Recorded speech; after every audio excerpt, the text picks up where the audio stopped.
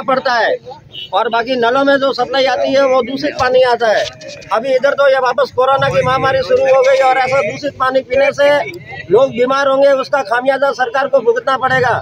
सरकार से हमारी ये मांग है पूरे ग्रामीण की कि शुद्ध पानी की तो हम आपसे आस रखते हैं बाकी तो काम सब दूर की बात है। पर शुद्ध पानी की तो आस एक शेरगढ़ काम रखता है, उसका पानी का व्यवस्था किया जाए। शीघ्र हमारी मांग है, वो पूरी करें, अन्यथा यहाँ पे धरना जारी रहेगा।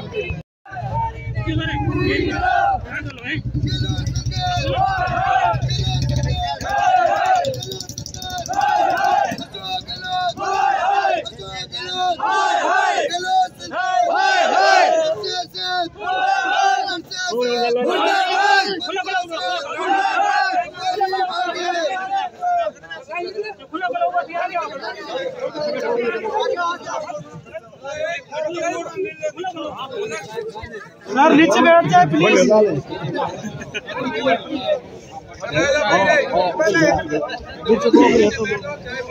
आगे कपड़ा खराब करना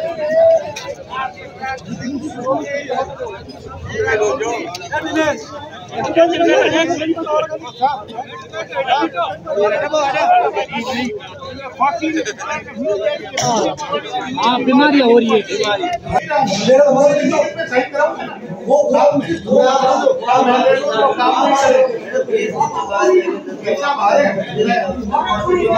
आपको पता बीस दिन हो जाएगा। ठीक है दो आपको विश्वास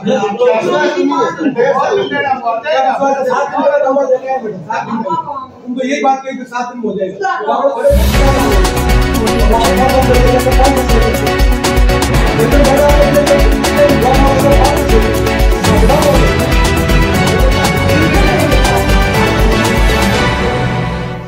उनको यही बात कही कि सात दिन में हो जाएगा लाइन रिप्लेस करा देगा गांधी चौक का ही मामला है। पूरे गाँव को थोड़ी रिप्लेस करनी है केवल सौ मीटर सौ मीटर रिप्लेस कर दो एक दिन का काम होगा उसको कौन मना करता है? ये देखो पहले आपके दिमाग में नहीं आया रिप्लेस करके हो जाएगा।